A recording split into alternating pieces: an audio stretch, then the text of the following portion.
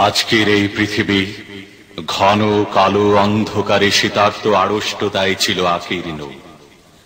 পাপ পঙ্কিলতায় মানুষেরা ছিল ডুবে। মানুষ পরিণত হয়েছিল নিকৃষ্ট মানবেতর জীবে। এমনি কালের তটে, উষর মরুভূতে, ধূসর দিগন্তে, সোনালি আলোর উজ্জ্বলতায় জ্যোতির্ময় দীপ্তিতে তিনি এলেন, বিশ্ব মানবতার মুক্তিদূত হয়ে। الحمد لله وحده والصلاة والسلام على من لا نبي بعده أما بعد فأعوذ بالله من الشيطان الرجيم.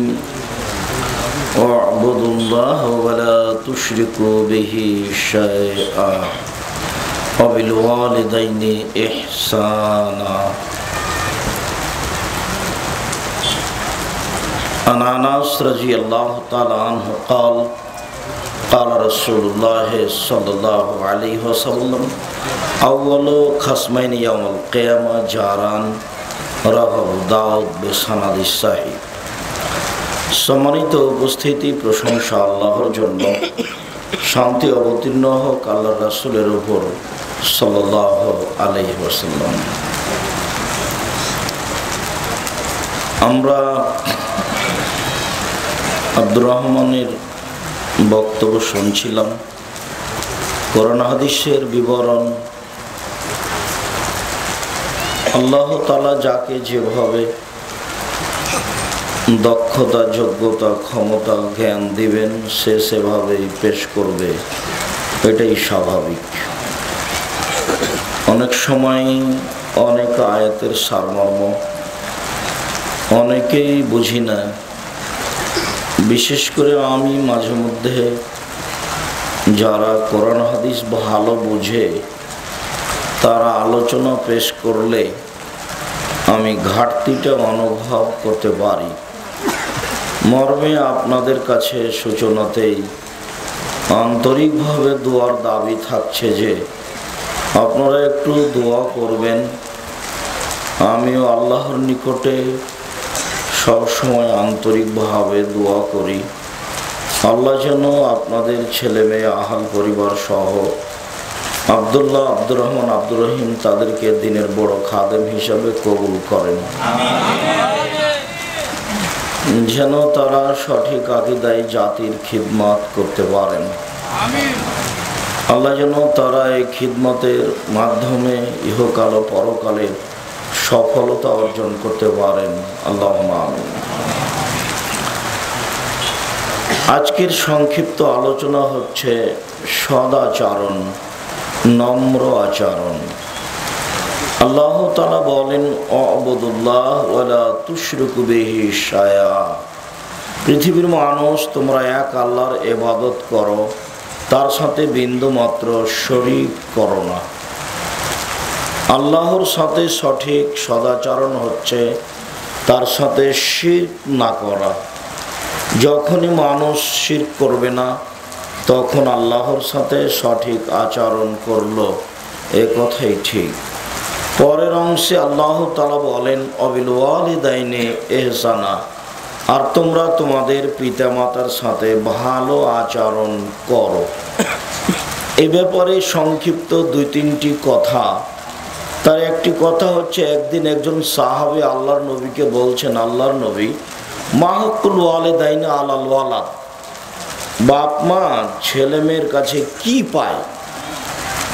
বাপ মা ছেলে মেয়ের কাছে কি হক পেতে পারে? অধিকার। তো রাসুল সাল্লাহ সাল্লাম বলছেন, কি বলো তুমি? হোমা জান্নাত না রোকা আরে, তারাই দুজন তোমার জাহান্নাম, তারাই দুজন তোমার জান্নাত। ওরাই তোমার জাহান্নাম, ওরাই তোমার জান্নাত বাপমা তোমার জাহান্নাম, বাপমা তোমার জান্নাত। একজন সাহাবি এসে বলছেন, আল্লাহর নবী, আমি যুদ্ধে যেতে চাচ্ছি। আল্লাহ রসুল বলছেন, তোমার মা আছে? লোকটি বলছেন, জি। তখন আল্লাহ রসুল বলছেন আল যেমন উম্মাক, তুমি তোমার মায়ের সাথে থাকো। নিশ্চয় মায়ের পায়ের নিচে জান্নাত। মায়ের পায়ের নিচে জান্নাত এ হাদিস সহি তবে বাপ মায়ের দিকে মায়ের দিকে সোনজরে তাকালে কবুল হজের সমান নেকি হবে, এ কথা ঠিক নয়। রাসুল সাল্লাহ আলী আসাল্লাম বলেন, আকবরুল কাবায়রা সালাসা। পৃথিবীতে সবচেয়ে বড় পাপ তিনটি। তার এক নম্বর বড় পাপ হচ্ছে আল্লাহর সাথে শীত করা। আর দুই নম্বর বড় পাপ হচ্ছে অকুকুল আলেদান পিতামাতার অবাধ্য চলা। রসুল সাল্লাহ আলি সাল্লাম বলেন, তিন, চার শ্রেণির মানুষ জান্নাতে যাবে না। তার এক শ্রেণির মানুষ হচ্ছে আপন বাপ মাকে মানে না যে। বাপ মার মান, মর্যাদা অনেক উপরে, আপনার কাছে অনেক ভালো আচরণ পাওয়ার হক রাখে। সম্মানিত দিনী ভাই বোন, আজকের সংক্ষিপ্ত আলোচনায় সংক্ষিপ্ত কথা যে আল্লাহ তালা কোরআন মাজিদের সলাতের কথা বলেছেন, তবে কীভাবে সলাত আদায় করতে হবে তা বলেননি। যদিও তা এবাদতের জগতে ভিন্ন ধরনের ব্যতিক্রম, বিরল এবাদত আল্লাহ তালা শ্যামের কথা বলেছেন, তবে শ্যাম কীভাবে পালন করতে হবে তা বলেননি। আল্লাহ তালা জাকাতের কথা বলেছেন তবে জাকাত কীভাবে দিতে হবে তা বলেননি। বাপ মাকে কীভাবে মেনে চলতে হবে তার বিবরণ আল্লাহ তালা নিজেই দিয়েছেন। এক জায়গায় আল্লাহ তালা বলেন, ফালা তাকুল্লাহুমা উফিন বাপ মাকে কখনো এই শব্দ ব্যবহার করো না। জোরালো আদেশ, নিষেধবাচক আদেশ। ওরা তানাহার হুমা কখনো তাদের দুইজনকে ধমক দিও না। অকুল্লাহুমা কলান করিমা, তার সাথে ভালোভাবে নরম হয়ে কথা বলো। অকফেজ লাহমা লকফেজ লাহমা জানাহাজুল্লে মিনার রাহমা। বাপ মায়ের সামনে বাহু নত করে ধীর কণ্ঠে স্বাভাবিকভাবে হেঁটে যাও। অকুল, বলো অকুর রব্বির হামহুমা কামা রব্বায়নি সাগিরা। হে আমার প্রতিপালক, তুমি আমার পিতামাতাকে দেখো, বাল্য অবস্থায় আমাকে যেভাবে দেখেছিল। আল্লাহ তালা পিতামাতার সাথে সদাচরণ বিষয়টি সিরিয়ালভাবে পেশ করলেন। এক, কখনো এই শব্দ ব্যবহার করা যাবে না। দুই, কখনো ধমক দেওয়া যাবে না। তিন ভালোভাবে নরম হয়ে কথা বলতে হবে। চার, বাহু নত করে ধীর স্থির হয়ে স্বাভাবিকভাবে তার নিকটে যেতে হবে। পাঁচ, সব সময় যখন তখন, যখন সহজ বলতে হবে রব্বির হামহুমা কামা রব্বায়নি সাগিরা। বিষয়গুলি আল্লাহ তালা ধারাবাহিকভাবে উল্লেখ করেন। এরপরে আল্লাহ তালা বলেন, অবিদিল কুরবা, নিকট আত্মীয়র সাথে ভালো আচরণ করো। পৃথিবীতে সবচেয়ে নিকট আত্মীয় কে? পৃথিবীতে সবচেয়ে নিকট আত্মীয় হচ্ছে ভাই। ভাইয়ের সাথে ভাই চলা খুব কঠিন। জমি জায়গা নিয়ে গন্ডগোল হয়। তাই তো শোনা গেল সেইখানে নাকি বাপ মারা গেলে জমি জায়গা ভাগ নিয়ে গন্ডগোল হলে বাপের মাটি হয়নি দীর্ঘ সময়। আগে সমাধা, তারপরে মাটি। ভাই ভাই গন্ডগোল। আমার চোখের সামনের একটা ঘটনা, বাপ মারা গেলে বাড়ি ঘর জমি জায়গা ভাগ করে নিচ্ছে।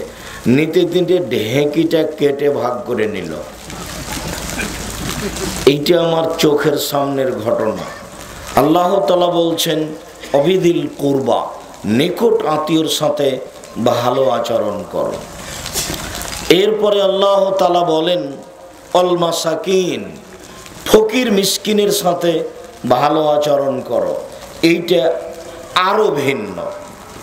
আবদুল্লাহ ইবনে আমর বলেন, রসুল সাল্লাহ আলি সাল্লামকে জিজ্ঞাসা করা হল, আল্লাহ আল্লাহ রসুল আইউল ইসলামে খায় মুসলমান হওয়ার পরে মানুষের জীবনে সবচেয়ে ভালো কাজ কি? ইসলামে সবচেয়ে ভালো কাজ কি? তখন রসুল সাল্লাহ সাল্লাম বললেন, তুতি মুক্ত তাকরাউ সালাম আলমান আরফ তামাল্লাম তারিফ। দুস্থ গরিব ফকির মিসকিনকে খেতে খেতে দিবা তুমি। এটাই তোমার জীবনে সবচেয়ে ভালো কাজ। মুসলমান হিসাবে ইসলামে সবচেয়ে যেটা ভালো কাজ, সেটা হলো দুস্থ গরিব ফকির মিসকিনকে খেতে দেওয়া। তারপরে তুমি সালাম দিবা, যাকে চিনো তাকেও সালাম দিবা, যাকে চিনো না তাকেও সালাম দিবা। হ্যালো বলে সম্বোধন করিয়েন না। হ্যালো বলে কুকুরকে ডাকে। বলবেন, আসসালামু আলাইকুম। চিনতে পারেন যদি হিন্দু, তাহলে বলবেন, ধন্যবাদ। কি বলছিলেন? আর যদি চিনতে না পারেন তো বলবেন, আসসালাম আলাইকুম। হিন্দু হোক, মুসলমান হোক, বৌদ্ধ হোক, খ্রিস্টান হোক, ডম হোক, চামার হোক, মেথর হোক, মুচি হোক, সে যে হোক না কেন, আপনি বলবেন, আসসালামু আলাইকুম। আল্লাহ নবী বলেন, যাকে চিনো তাকেও সালাম দাও, যাকে চিনো না তাকেও সালাম আমি তো মোবাইলের নাম্বারে বুঝতে পারিনি, সে মেথর না চামার। আমি বুঝতে পারিনি, অতএব, আসসালাম আলাইকুম। সম্মানিত দিনী ভাই বোন একদা রসুল সাল্লাহ আলি সাল্লাম বলেন যে, জান্নাতে কতগুলি ঘর আছে, এত উন্নত মানের ঘর, যার বাহির থেকে ভিতর দেখা যায়, ভিতর থেকে বাহির দেখা যায়, টক টক টক টক টক করছে ঝকঝক করছে, খুব উন্নত মানের ঘর। তো সাহাবিগণ বলেন, আল্লাহর নবী, লেমন হাজিহি, এত দামি ঘর কে পাবে? তখন আল্লাহ রসুল উত্তরে বললেন, লেমন আহতামা তমা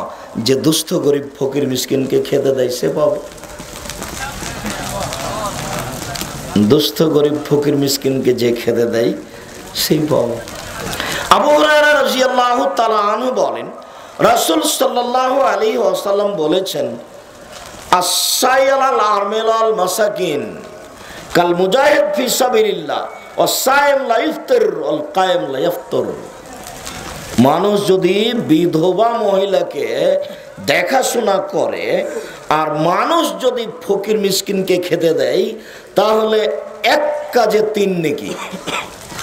আল্লাহর পথে জেহাদ করলে যত নেকি হয়, দুস্থ গরিব ফকির মিসকিনকে খেতে দিলে তত নেকি হয়।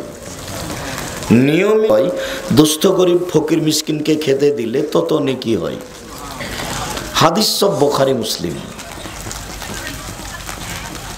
দুস্থ গরিব ফকির মিসকিনের বিষয়টি খুব জটিল এবং জান্নাতের জন্য বড় মাধ্যম, মহান আল্লাহ বলেন ফালাক্তা হামাল আকামা। লোকটি দুর্গম গিরিপথ অতিক্রম করতে পারল না। অমদরা কামাল আকাবা। মোহাম্মদ সাল্লাহ আপনি কি বলতে পারেন? দুর্গম গিরিপথ কি আপনার কি জানা আছে? দুর্গম গিরিপথের কথা আমি বলি, তা হচ্ছে ফক্করা ফিয়মিন দাস দাসীকে মুক্ত করা যা বাংলাদেশে নেই। যেটা আছে সেটা হলো ফকির, মিসকিন, অসহায় মানুষ, নিকট আত্মীয় এতিমকে খেতে দেওয়া। ধুলোই মলিন ফকির, মিসকিন যারা রাস্তাঘাটে পড়ে আছে, অনাথ খায় খায় না। এদেরকে খেতে দিল যে সেই দুর্গম গিরিপথ অতিক্রম করল, জান্নাতে চলে গেল। যে এতিমের সহযোগিতা করল, খেতে দিল, সে জান্নাতে চলে গেল। রাসুল সাল্লাহ আলি সাল্লাম পরের বাক্যে বলেন অল এতামা। এতিমের সাথে ভালো আচরণ করল। এক, আল্লাহর সাথে ভালো আচরণ, তা হলো শির্ক না করা।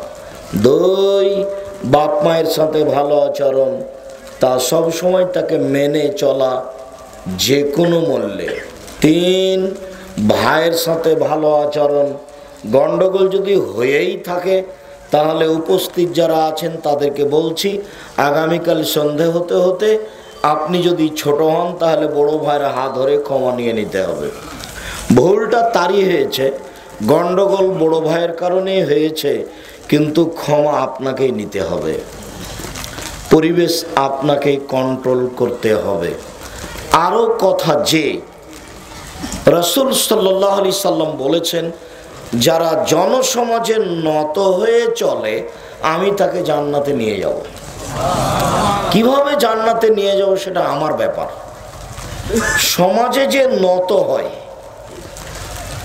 তাকে জান্নাতে নিয়ে যাওয়ার বিষয়টি আমার।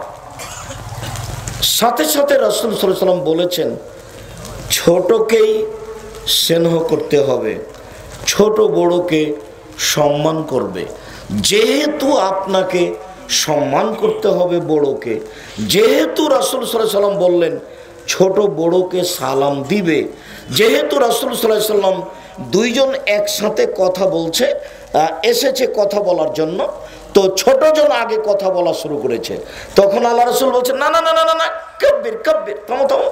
বড়কে বড়কে কথা বলতে দাও, বড়কে কথা বলতে দাও, বড়কে কথা বলতে দাও।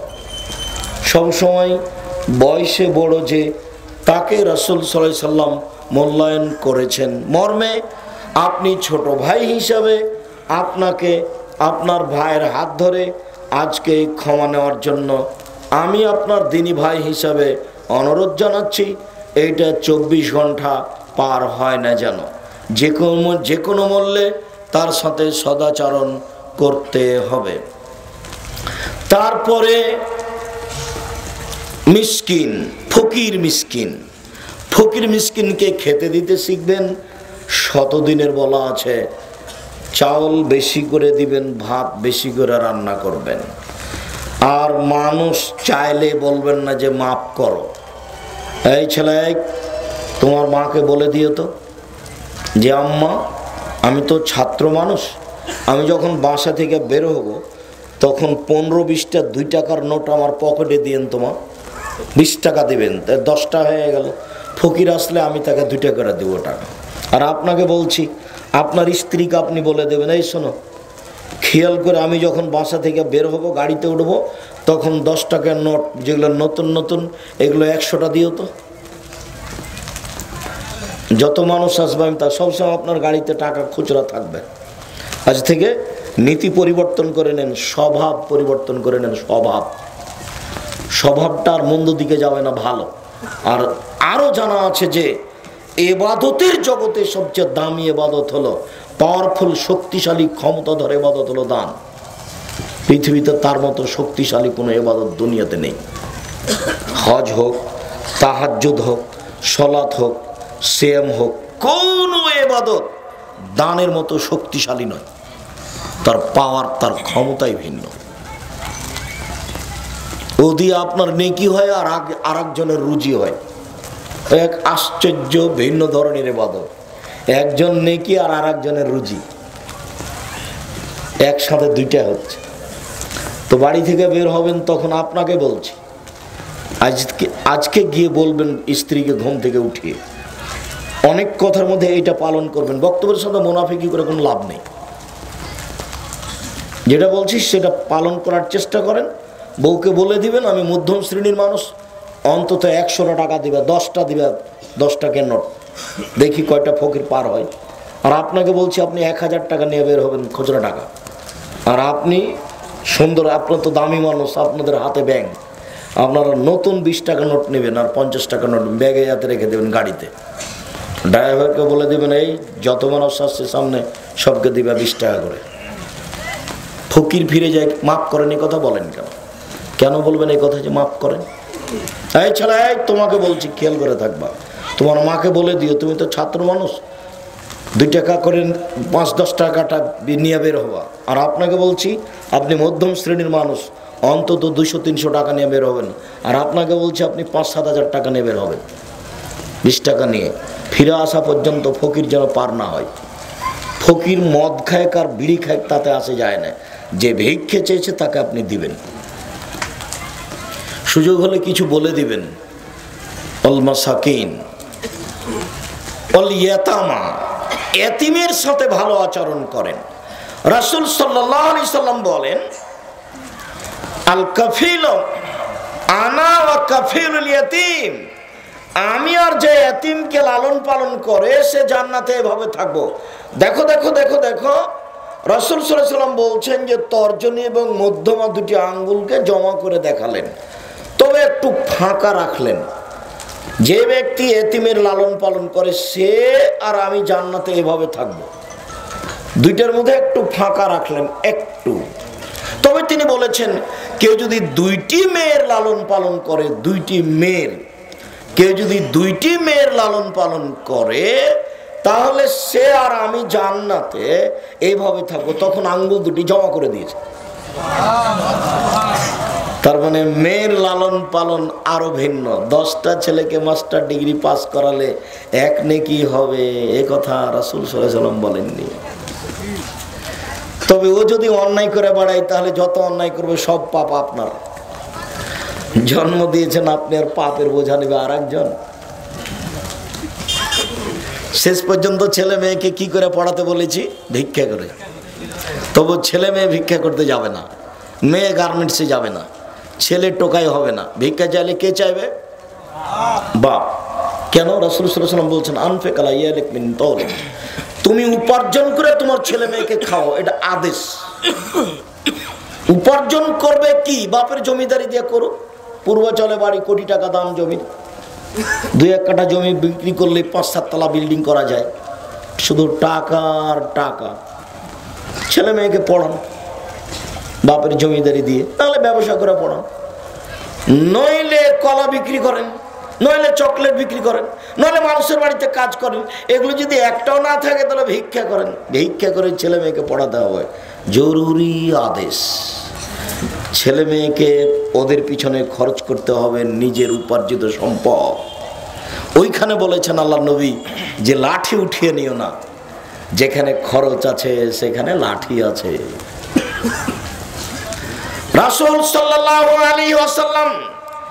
এতিমের সাথে সদাচরণ করার কথা গিয়ে বলতে গিয়ে বললেন একটা লোকের প্রশ্নের উত্তরে একটা লোক বলছে, আল্লাহর নবী, আমার অন্তরটা খুব শক্ত, এত শক্ত। কেউ কিছু চাইলে আমি তাকে দিতে পারি না। কেউ যদি একটু দা খান চাইতে আসে, একটু কাট কাটবে বলে দা খান, তখন আমি বলি যে, কিনে নাও গা, তুমি কিনো গা কাজ করো গা। আমার অন্তরটা খুব শক্ত। সব ফকিরকে খালি বলি, মাফ করো। একটু দেওয়ার মন চায় না। তখন আল্লাহ রসুল বলছেন, শোনো শোনো শোনো শোনো। ইমসা ইয়াতিমা, ইমসা রাসাল ইয়াতিম ও আতিমিল মাসাকিন। ফকির মিসকিনকে খেতে দাও আর ইয়াতিমের মাথায় হাত রাখো এরিক্য কালবক, তাহলে তোমার অন্তর নরম হয়ে যাবে। এখন তুমি ফকিরকে আর ফিরিয়ে দিবা না। দুইটা কাজ করা লাগবে, কি বলেন তো?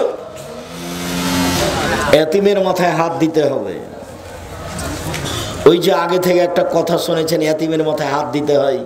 ওটা ঠিক কথা, ওটা রাসুল সাল্লাম বলেছে এরপরে রাসুল সাল্লাম বলেন অল জারে কুরবা নিকট প্রতিবেশীর সাথে ভালো আচরণ করো। অল জারেল জনব দূর প্রতিবেশীর সাথে ভালো আচরণ করো। প্রতিবেশীর সাথে আলোচনায় লম্বা আলোচনা নয়।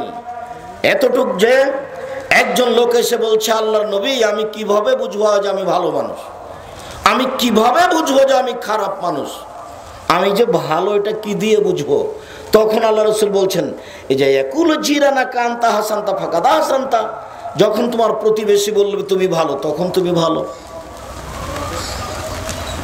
আর যখন তোমার প্রতিবেশী বলবে, আসাতা ফাঁকাদা আসাতা, তোমার প্রতিবেশী যখন বলবে, তুমি খারাপ, তখন তুমি খারাপ।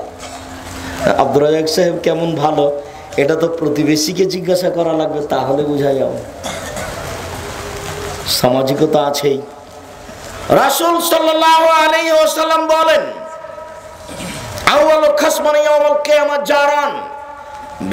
মাঠে প্রথম বিচার হবে দুই প্রতিবেশীর। আব্দুর সাহেব থামেন। আপনার মুখে অনেক দিন শুনেছি বিচার মাঠে প্রথম বিচার হবে সলাতের, নামাজের। আজকে বলছেন, প্রথম বিচার হবে দুই প্রতিবেশীর। জি, আল্লাহ তার নিজের হক আদায়ের জন্য প্রথম বিচার করবেন সলাতের। আর মানুষের হক আদায়ের জন্য প্রথম বিচার করবেন প্রতিবেশীর। না, গাড়িতে উঠতে গিয়ে আর একজনের ব্যাগ আপনার মাথায় লেগে গেছে, চিৎকার করে কিছু বলবেন না। রিক্সাওয়ালার উপরে রাগ করবেন না। এরপরে আল্লাহ তালা বলেন, পথিকের সাথে ভালো আচরণ করতে হবে যে রাস্তা খরচ চেয়েছে। বলছে, আমার বাড়ি কুমিল্লা, রাস্তা টাকা হারিয়ে গেছে, আমাকে টাকা দেন দুইশো। পঞ্চাশ দিন আর যাই দেন, তারপরে ক্ষিপ্ত হবেন না। এরপরে অধীনে যারা আছে, তাদের সাথে ভালো আচরণ করবেন। সম্মানিত দিনী ভাই বোন সাধারণভাবে, স্বাভাবিকভাবে প্রতিবেশীর সাথে আত্মীয় স্বজনের সাথে, বাপ মায়ের সাথে ভাই বোনদের সাথে ভালো আচরণের অনুরোধ রেখে আজকের সংক্ষিপ্ত আলোচনা এখানেই শেষ করছি। আল্লাহ আমাদের যারা মারা গেছে, তুমি তাদের কবরের শাস্তি মাফ করো। আমরা যারা অসুস্থ, তুমি তাদের আরোগ্য দান করো। আমরা যারা বেঁচে আছি, তুমি তাদেরকে তোমার আসলের পদ্ধতি অনুযায়ী চলার তৌফিক দান করো। আমাদেরকে প্রতিবেশীর সাথে, মানুষের সাথে ভালো আচরণ করার তৌফিক দান করে। দাবি, এ দাওয়া, এ দোয়া তোমার দরবারে রেখে আজকের সংক্ষিপ্ত আলোচনা এখানে শেষ করলাম। সুবনাক আল্লাহ আস্তাগফিরুকা ওয়া আতুবু ইলাইক। আসসালামু আলাইকুম মহান কে মহান কে মহান কে মহান বলো কে